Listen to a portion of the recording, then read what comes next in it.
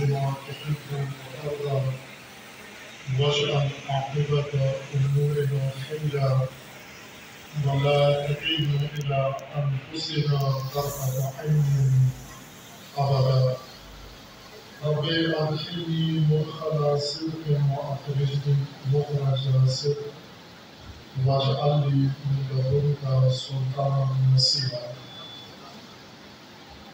تمام حاضرین محترم اور بالخصوص صاحب صاحبانی محترم و مکرم حافظ رحمہ اللہ، آپ کا شکریہ ادا کرتا ہوں کہ آپ نے مجھ جیسے ایک طالب علم کو اس محفل نورانی میں اور محفل مجلس عرفانی میں اور اس معنوی ماحول میں حاضر ہونے کی اور حاضر لگانے کی سعادت ہدایت فرمائی ہے۔ اور اسی طرح یہ آستانہ شریفہ، آستانہ عالیہ آستانہ متبرکہ حضرت پیر صوفی محمد رفیق اللہ شاہ رحمۃ اللہ علیہ اور آپ کے جانشین صوفی سید قسم اللہ شاہ رحمۃ اللہ علیہ ان کے اس دربار پر اور اس محفل عالی قدر میں حاضر ہونے کی سعادت نصیب ہوئی ہے مفتی صاحب جب تشریف لائے ہیں کہ اس باشکو جشن میں اور جشن ولایت میں اور میڈیا میں حاضر ہوں تو میں نے ان سے عرض کیا کہ یہ میری دیرینہ آرزوز تھی جب سے لاہور میں ہمیں خدمت کا موقع ملا تو یہاں سے ایک دفعہ گزرنا ہوا تو جی چاہتا تھا کہ اندر جائیں زیارت کریں لیکن حالات ایسے ہوئے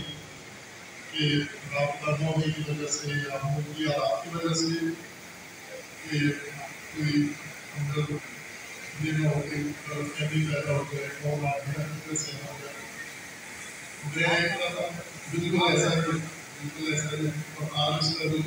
ہو گیا حضرت دلے شاہ کے مزار میں حاضر ہوا انہوں نے کہا کہ واپس آ گیا کہ میں جیسا کہ وہ محسوس کرے گے لیکن پھر جائے تو کر جہاں ہمارے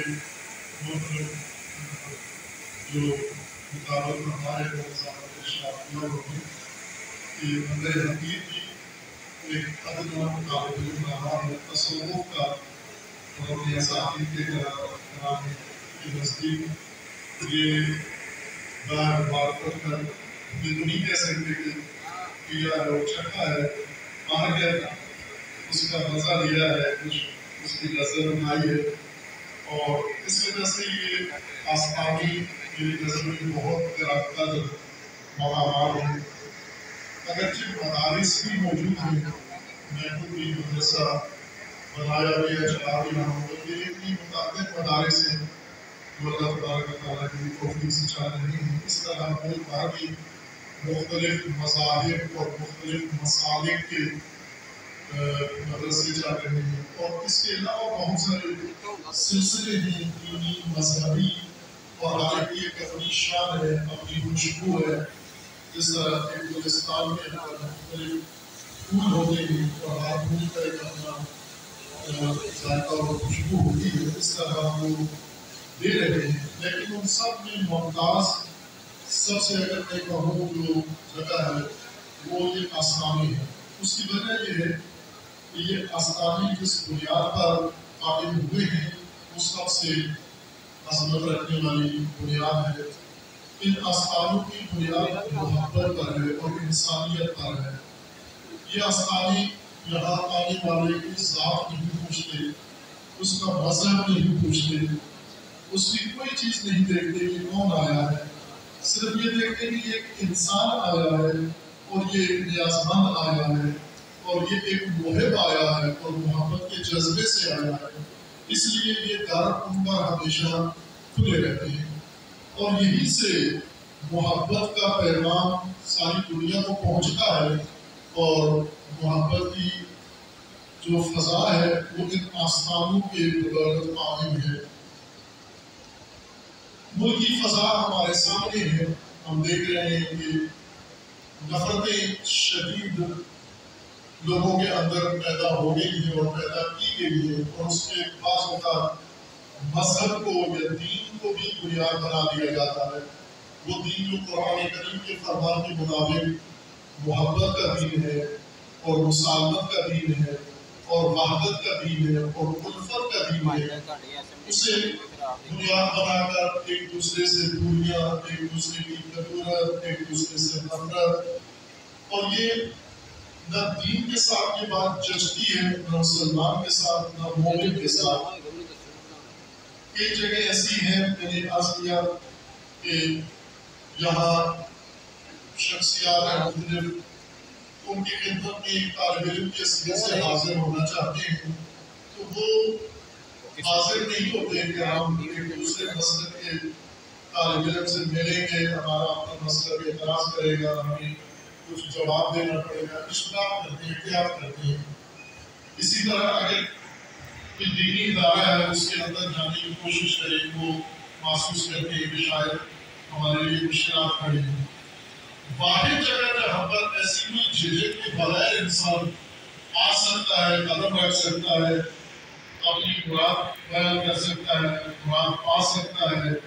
وہ آسانے ہیں یہاں پر کسی کو اجازت دینے کی ضرورت نہیں ہوتی یہاں پر اپنا تعاون کرانے کی ضرورت نہیں ہوتی، میں کس مذہب سے آیا ہوں یہی کہ میں انسان ہوں کیونکہ جن بزرگوں، جن ہستیوں کے نام پر اور جن کے ہستیوں کی شان پر یہ داستانیں قائم ہوتے ہیں، انہوں نے زندگی پر یہی پیغام اپنے عمل سے بھی دیا ہوتا ہے اور اپنی گفتار سے بھی دیا ہوتا ہے۔ اس لیے میرے نظر میں آج مثلا ہم یہاں بیٹھے ہیں اور چار دن الحمدللہ یہ عرص مبارک، جشن مبارک جاری رہے گا۔ اور اس کے اندر مختلف طے شدہ جو طریقہ کار ہے، اس کے مطابق تقریریں بھی ہوں گی، کلام بھی پڑھا جائے گا، بہت کچھ نورانی محفلیں ہوں گی، استفادہ ہوگا، بزرگان ہوں گے، آئیں گے، علماء کرام آئیں گے۔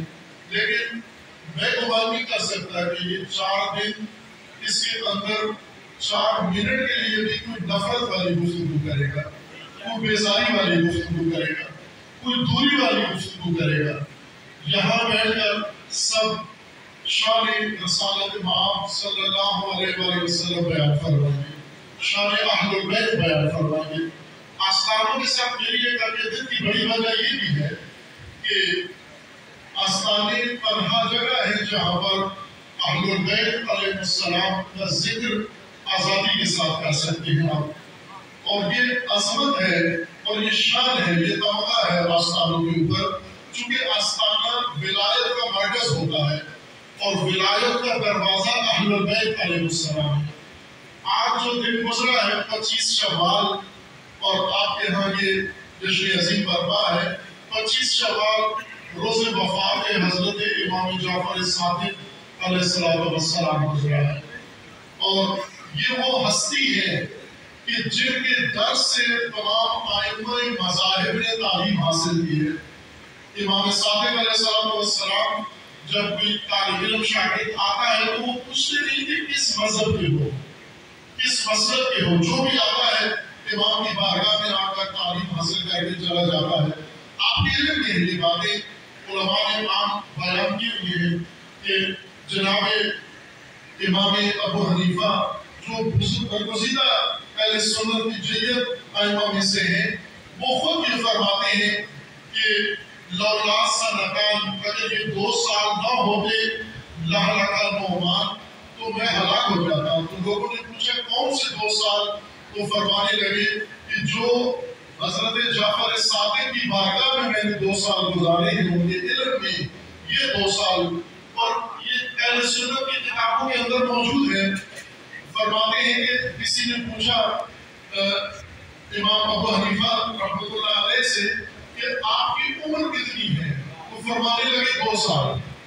اب ساٹھ سال کی عمر میں یا ساٹھ سال کے نزدیک عمر میں فرمانے لگے دو سال۔ تو تعجب سے پوچھا کہ آپ دو سال کے ہیں؟ تو کہا ہاں دو سال کا ہوں۔ کہا، کیوں؟ فرمایا، وہ جو دو سال فرزند رسول امام جعفر صادق کی خدمت میں گزارے ہیں، میں اسی کو عمر سمجھتا ہوں۔ یہی میری عمر ہے۔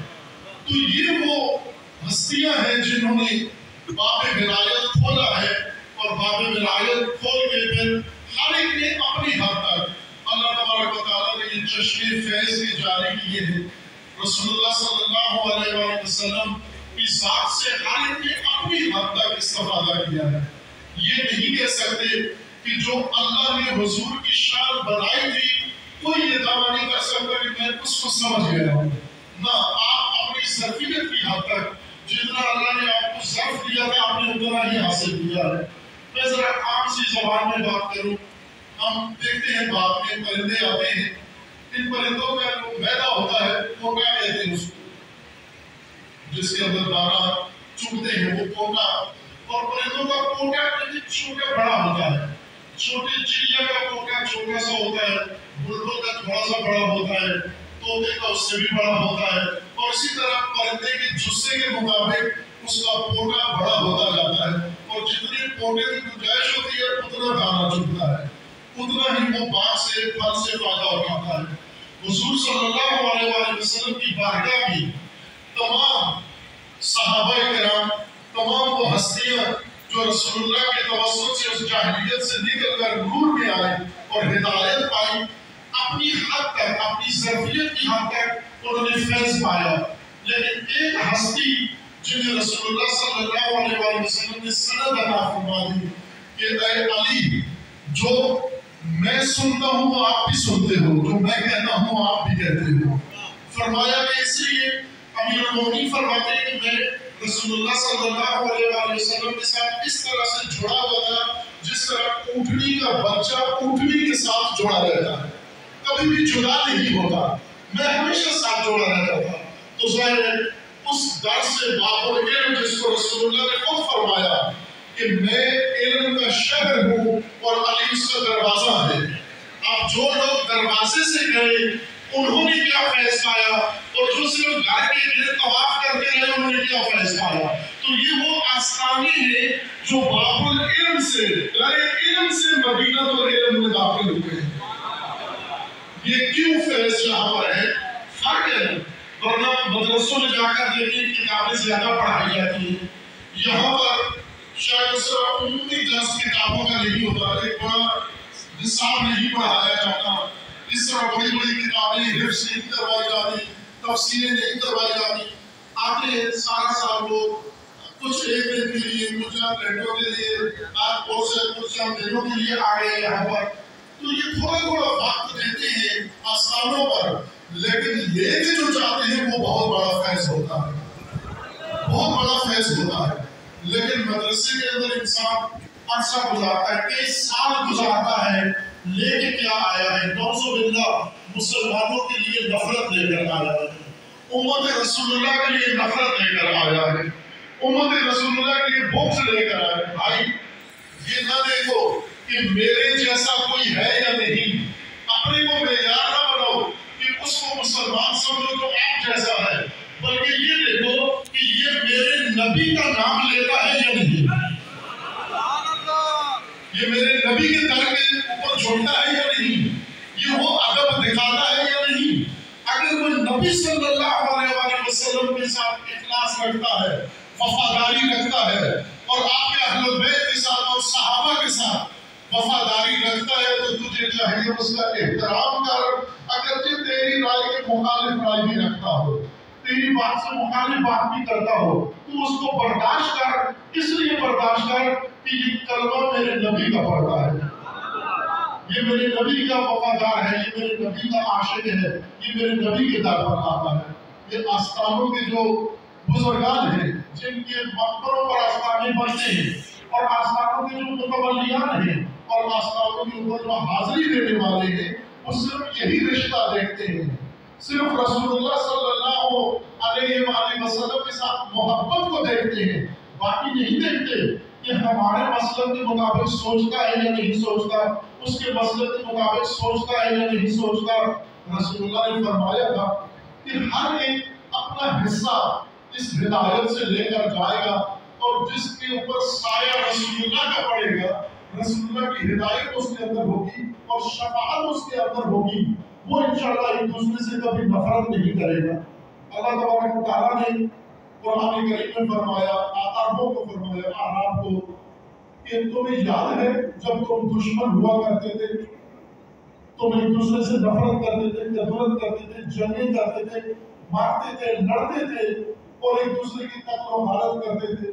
ان دشمنوں کو کس طرح اللہ تبارک و تعالیٰ نے اپنے ایک دوسرے کا بھائی بنا دیا؟ اس کے لیے قرآن کریم کا فرمانا ہے فَأَصْبَحْتُمْ بِنِعْمَتِ بِنِعْمَتِ إِخْوَانَا۔ تم میری نعمت کے ذریعے سے اپنے رب کی نعمت کے ذریعے سے بھائی بن گئے۔ عزیز عزیزان گرامی وہ جو دشمنوں کو بھائی بنا دے، اللہ اس کو اپنی نعمت کہہ رہا ہے۔ جو دشمنوں کو بھائی بنا دے۔ سورہ آل عمران، جو دشمنوں کو بھائی بنا دے، وہ اللہ کی نعمت شمار ہوتا ہے۔ اب رسول اللہ صلی اللہ علیہ وآلہ وسلم بھی اوس و حضرت کو جو دشمن تھے، بھائی بنا دے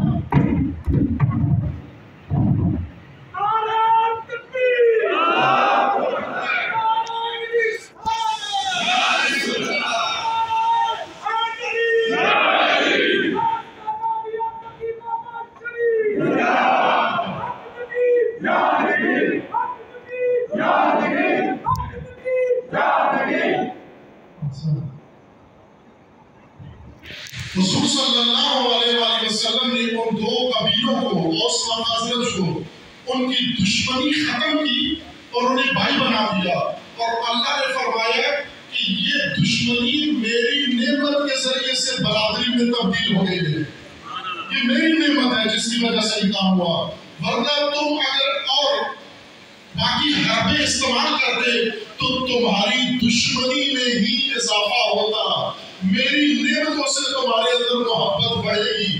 عزیزہ، آج ہمارے ملک کو سب سے زیادہ اسی اخوت کی اور اسی محبت کی ضرورت ہے۔ اور دوسری طرف سے قرآن کریم کا فرمانا ہے کہ وہ شخصیت، وہ آستانہ، وہ دربار، وہ آدمی جو میری ٹوٹی امت کو بھائی بنا دے وہ میری طرف سے نعمت ہوگا۔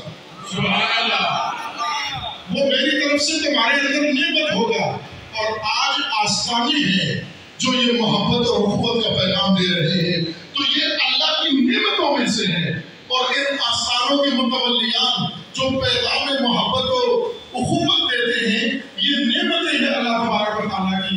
اور جس نے امت رسول اللہ میں، جس نے مسلمانوں کے اندر تفرقہ ڈالا، وہ نعمت نہیں بلکہ نعمت ہے، وہ عذاب ہے۔ آج عزیزان اپنی ملت کو پاکستان اس وقت شدید مشکلات میں ہے۔ اور ہم یہاں، یہ نورانی مجلس، یہ نورانی محفل، یہ نورانی جشن اور یہ آستانہ عالیہ اور اس کے اوپر یہ حاضری عزیزہ یہ اس مشکل کو حل کر سکتا ہے یہ آستانہ اور اس جیسے آستانے اور اس جیسی مجلسیں اور اس جیسی محفلیں اس لیے کہ آج نفرت پہلے مذہب کے نام پر نفرت، پھر قوم کے نام پر نفرت اور اب سیاست کے نام پر نفرت۔ جب ہر طرف سے اس قوم کے اندر نفرت ہی پھیلائی جا رہی ہے رسول اللہ کے ساتھ دشمنی کی جا رہی ہے، یہ امت رسول کے ساتھ دشمنی ہے۔ اس لیے یہ آگ جو لگائی جا رہی ہے، یہ آگ بجانی ہے محبت کے آستانوں میں۔ یہ محبت کے آستانے ہیں، یہ ولایت کے آستانے انہوں نے یہ آگ بجانی ہے۔ انشاءاللہ میں ایک اور آستانے کی شرف حضور حاصل ہوا تو انہوں نے مجھے بتایا کہ ہمارے جو بزرگ جن کا یہ مزار شریف ہے یہاں پر انہوں نے آٹھ لاکھ ہندوؤں کو کلمہ پڑھایا مسلمان کیا یہ انہوں نے فرمایا کتنا بڑا کام کوئی اور شخص کام نہیں کر سکتا کہ میرے آپ کو کتنے لوگ مسلمان ہوئے کوئی ہوں گے چاہے صاحب دس آدمی بیس آدمی سو آدمی پانچ سو آدمی لیکن اتنا کہ آٹھ لاکھ ہندو غیر مسلم مسلمان ہو جائے یہ ایک ولی کا ہی کارنامہ ہو سکتا ہے انہوں نے یہ کام کیا تو میں نے کہا کہ یہ جو آپ کے بزرگ نے مسلمان کیے، آپ کو پتا ہے کہ آج کیا کیا جا رہا ہے ان کے ساتھ۔ جو آپ کے بزرگوں نے مسلمان کیے، آج ان کو تکفیر کیا جا رہا ہے۔ آج ان کو کافر قرار دیا جا رہا ہے۔ آج ان کو اسلام سے باہر نکالا جا رہا ہے۔ یعنی آپ کی میراث لٹ رہی ہے۔ آپ کی میراث بزرگوں کی برباد ہو رہی ہے۔ تو اس لیے اس کو بجائے یہ آٹھ لاکھ، ابھی اسی لاکھ ہونے چاہیے۔ آستانوں کا کردار یہ ہے کہ وہ غیر مسلم اسلام کے اندر آئے، لیکن جو ماحول بن چکا ہے کہ اسلام کے اندر آج لوگ باہر ڈکیل رہے ہیں۔ اس لیے میں یہ اعتقاد رکھتا ہوں، ایمان رکھتا ہوں کہ یہ آستانی انشاءاللہ جس طرح شروع میں آستانوں کا جو سلسلہ جاری ہے، انہوں نے محبت کا پیغام دیا ہے اسی طرح آج بھی اس مشکل گھڑی میں اس ملک کو انشاءاللہ اس نفرت کی فضا سے نکال کر یہاں اخوت، محبت اور بھائی چارے کا چمن یہ آستانے آباد کریں گے، یہ مرکز بنیں گے انشاءاللہ۔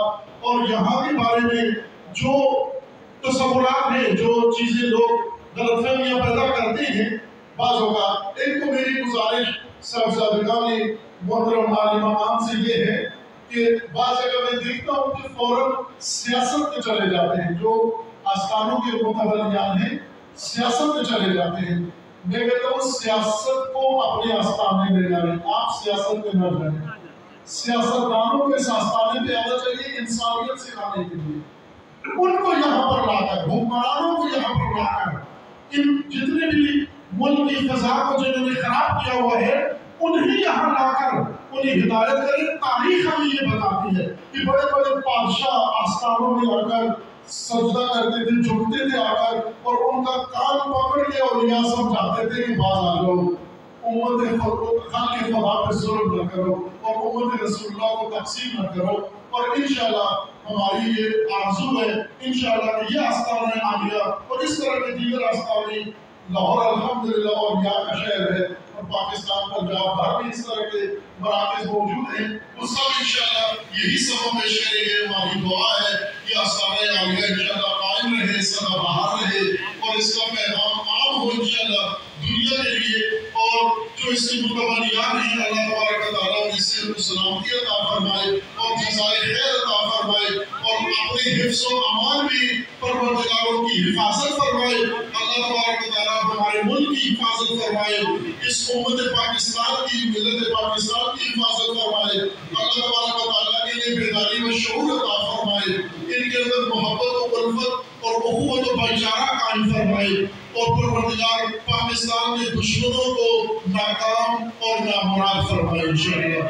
والسلام علیکم ورحمۃ اللہ وبرکاتہ۔ بخش پاؤتی آپ نے سامان کر دیا، جس کو بھی دیکھا، پیار سے ذیشان کر دیا۔ اور پرسان حال کوئی، ہمارا نہ تھا یہاں۔ اپنا بنا کے آپ نے احسان کر دیا۔ اور دولت نواز کر ہمیں ایمان کی حضور، ہم مفلسوں کو آپ نے دھنوان کر دیا یہ موجے بھی خوب ہیں آقا کے اے فراز ممتوں کو جب نوازا تو سلطان کر دیا رب میں داد خطاب دے رہا ہوں عالم با عمل